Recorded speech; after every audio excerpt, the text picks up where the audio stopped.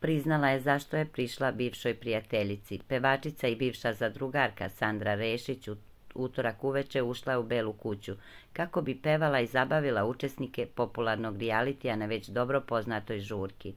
A u kazinu je tom prilikom došlo do neprijatnog susreta sa aktuelnom učesnicom ovogodišnje sezone elite, Jovanom Tomić Matorom, koja je nakon toga završila u suzama. Sinoć je u emisiji Pitanje gledalaca Matora dobila pitanje vezano upravo za ovaj susret. A kako je publika željno iščekivala da sazna šta je Matora šaputala Rešički i zbog čega se na kraju rasplakala, Matora je otkrila šta se zapravo desilo. Zašto si prišla Rešički i grlila je, glasilo je pitanje upućeno Matoroj, kojoj je pročitao voditelj Milan Milošević. Gledala sam da li će mi prići, izvinila je sam joj se, mnogo mi je krivo, imala je pravo da mi se ne javi, ali je ispala šmeker, priznala je Tomićeva. Naime, kad je Sandra ušla u kazino, Matora je zanemela od šoka, ne očekujući da će to veče vidjeti svoju bivšu prijateljicu.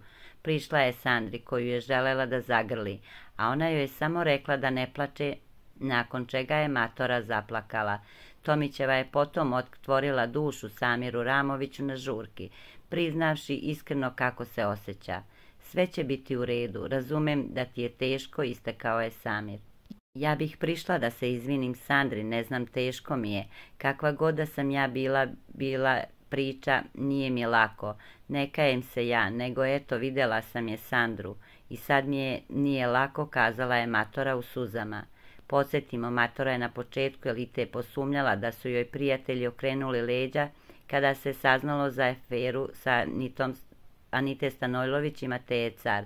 Tada je prvo poverovala da joj pojedini prijatelji pakuju priču, da izmišljaju laži kako bi joj napakostili u želji da unište njenu vezu sa Anitom, pa je žestoko udarila na njih, a kasnije im je se izvinjavala kada je shvatila da je sve bila istina.